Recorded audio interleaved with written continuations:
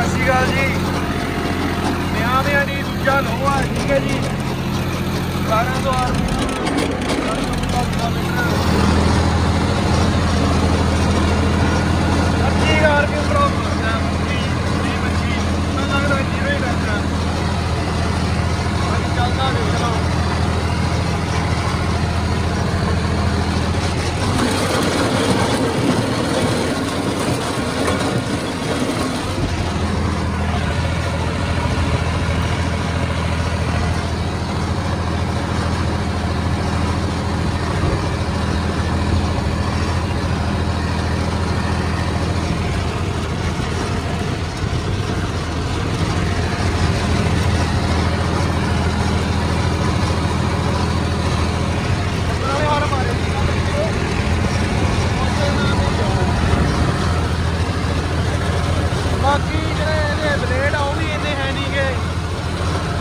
ਚੋਰੀਆਂ ਨੂੰ ਕਹਿ ਦਿੰਦੇ ਆਪਾਂ।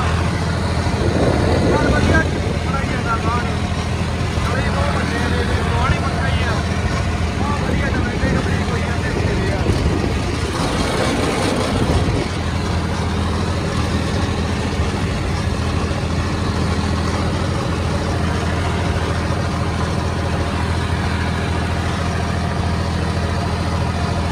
ਆ ਦੂਜੇ ਗੇੜੇ ਜਦੋਂ ਆਉਂਦਾ